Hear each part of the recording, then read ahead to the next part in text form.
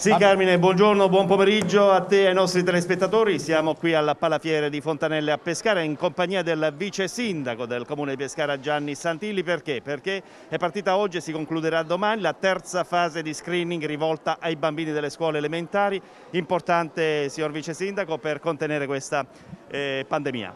Sicuramente oggi è un'altra giornata importantissima. Abbiamo lo screening per i, i ragazzi delle scuole elementari eh, saranno tra la giornata di oggi, sia mattina, pomeriggio domani mattina e pomeriggio, affronteranno questo piccolo esame diciamo, per i bambini, 6.000 bambini.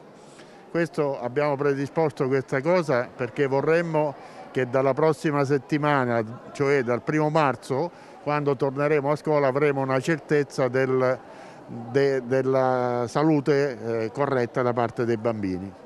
Quindi oggi per Pescara è un'altra giornata importante in quanto al Palabecci, quindi al porto turistico, è iniziato la vaccinazione per gli insegnanti e il personale ATA delle scuole.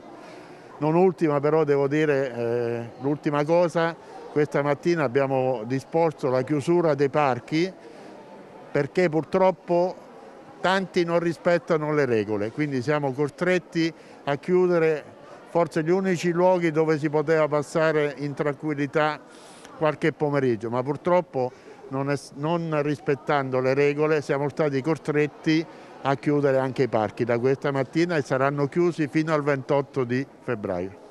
Signor Vice Sindaco, abbiamo visto come l'Abruzzo sia in zona arancione, però in virtù dell'ordinanza presidenziale Pescare Provincia chiede provincia in zona rossa, necessario proprio perché il diffondersi del virus, soprattutto di questa variante inglese, eh, crea veramente apprensione. Questa variante inglese ci sta creando dei grossi problemi in quanto eh, parlando con i medici, con i responsabili della AS di Pescara ci hanno fatto notare che colpisce molto i bambini da 3 a 12 anni quindi siamo stati costretti a chiudere le scuole, eh, essendo poi Pescara e Chieti una, stata definita nella zona rossa, quindi abbiamo deciso di chiudere le scuole e, ripeto, è una cosa importantissima, da questa mattina anche i parchi.